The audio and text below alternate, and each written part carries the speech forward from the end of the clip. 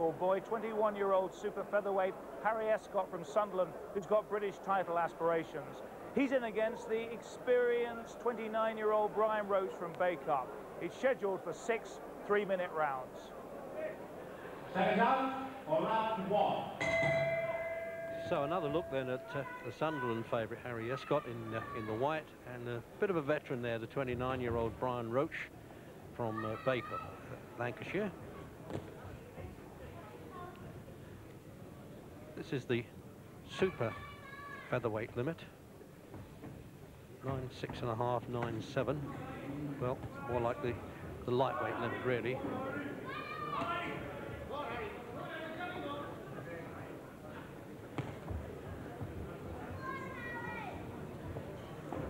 And the boxes these days are their names on the trunks, all kinds of things. You've got Harry Boy on there, Escott. Well, that always helps. A, a commentator is not sure, but there you are. There's the, the shorts again.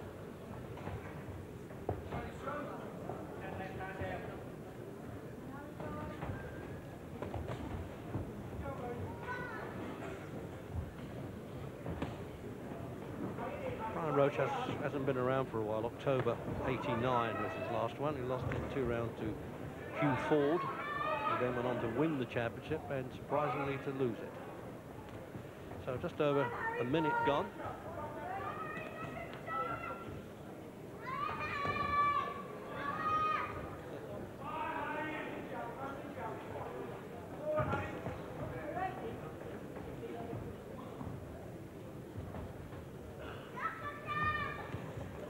Always gives them a run for their money, Brian Roach. You remember those great fights we saw on uh, Fight Night that he's had? Uh, Carl Crook and Drew Black. He's, he's often in Nobbins fights. Yeah, now and again, Brian is in an untidy mood and he gets involved in a little bit of wrestling, but when he means business, he's very entertaining. And uh, in the first round here tonight, he's looking very sharp. He's uh, he's just stalking young Escott, keeping him backed up, uh, trying to, to find a way in. Escott nice and quick on his feet at the moment. This, this is one I've been looking forward to. It's a good little match. I hope it lives up to it.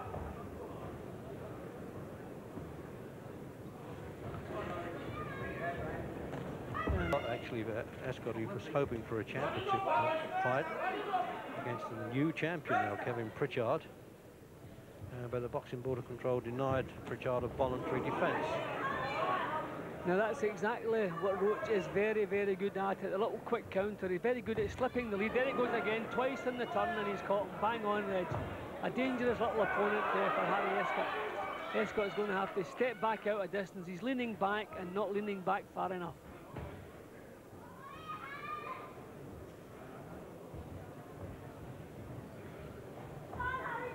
Well, it was uh, get on the bike opening round there for Harry Escott.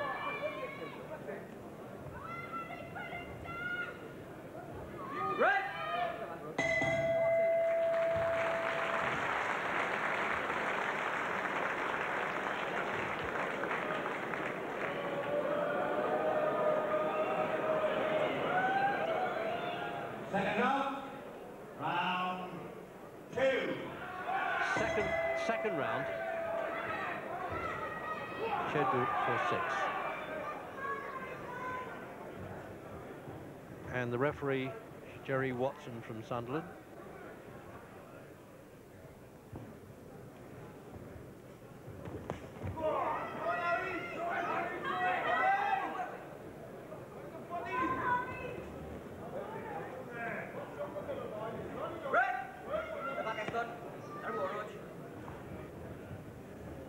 Like the way the referee stands there, looks at him, he's a real schoolmaster type, isn't he?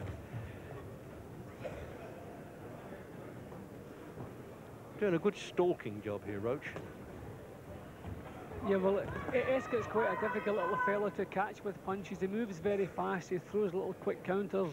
Roach obviously knows all about him, so he's trying to force him into make mistakes. He's showing a little feint, backing him up, and just waiting for the for his chance. But a couple of the right hand uh, counters he threw in the first round, very sharp, and uh, landed both of them bang on.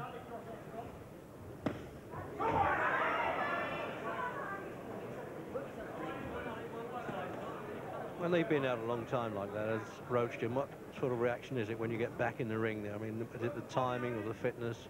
Well, well, well, I think uh, too much is made out of layoffs. Uh, sometimes a layoff will do you a little bit of good, you know, come back with an appetite. As long as you've had plenty of half-decent sparring in the gymnasium, uh, th there's no reason that it should take you too long to get back into the groove again.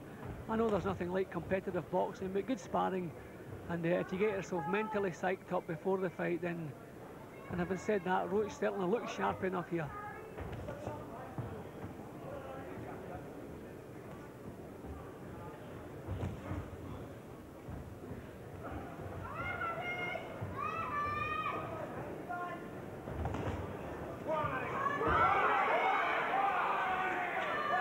minute to go in the second. And that's the last thing really that Escott wants is a, a rough and tumble close in like that. See, Roach is far more experienced than, than, the amount of fights would suggest. The way he walks square across Escott backs him into a corner. A good little technique he has. And uh, Escott wants to be nice and careful uh, just at the beginning of the fight, try and get his long punches going. See a bit of blood coming from Escott's left eye. Just going to have, a, have a look at that. The referee just uh, didn't seem very bad, Jim, but he did the right thing.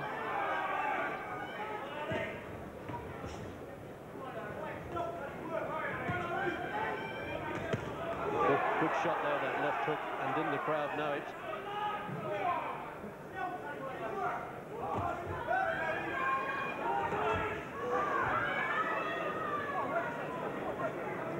Roach still a little bit guilty when an opponent comes close. It's an automatic reaction. He grabs hold of, but he's doing it now.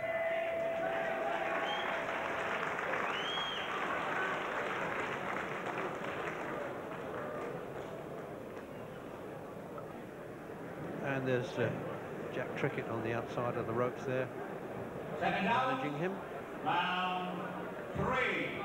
And we're out for the third round of this super featherweight, virtually lightweight really, between Harry Escott in white and uh, Brian Roach. And that's been the pattern so far, having to move around the ring like that. Because uh, Escott has tumbled. He's 21 against Roach's 29. The old warrior knows a trick or two. He's been in with a couple of champions. He lost to Mo Hussein for the Commonwealth title. And it's getting very rough in there. Oh, as I, as I said it, I mean, that was blatant. And quite right, Jerry Watson is uh, reminding him he's got to behave himself, otherwise he might lose two points.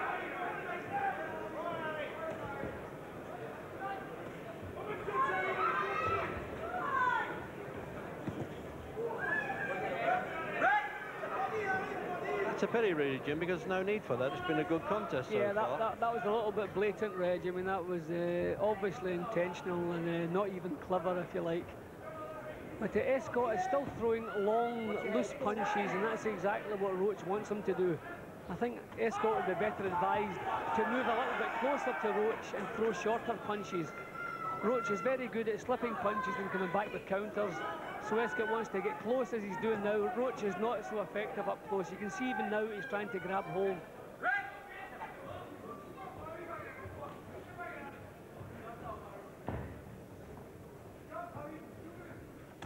He keeps walking into that punch.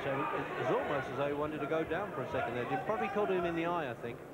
Well, actually, Roach is very good at delivering these kind of punches. You see, he's intimidating Escott. He's got him again, Reg. Got him again. He showed a left hook. He's nailed him with the right, and he's not going to make that, I don't think. No, he won't make that. His, his legs went on him, and he just didn't want to know anyway, and he really is out. So in the third round, that surprised me because I would have thought with a minute to go in that round, the uh, the local, virtually local Sunderland man, favourite to win, but Brian Roach did it in style and he's come back almost in the third round. Roach all the way through has been stalking him, backing him up, putting him into positions, and he got him to overstretch himself, and bang, over it went once again, and that was obviously the finisher. Lovely punch and lovely technique from Brian Roach. Well, that was a terrific punch, wasn't it? Here's another big puncher now, Paul Charters, the light welterweight from North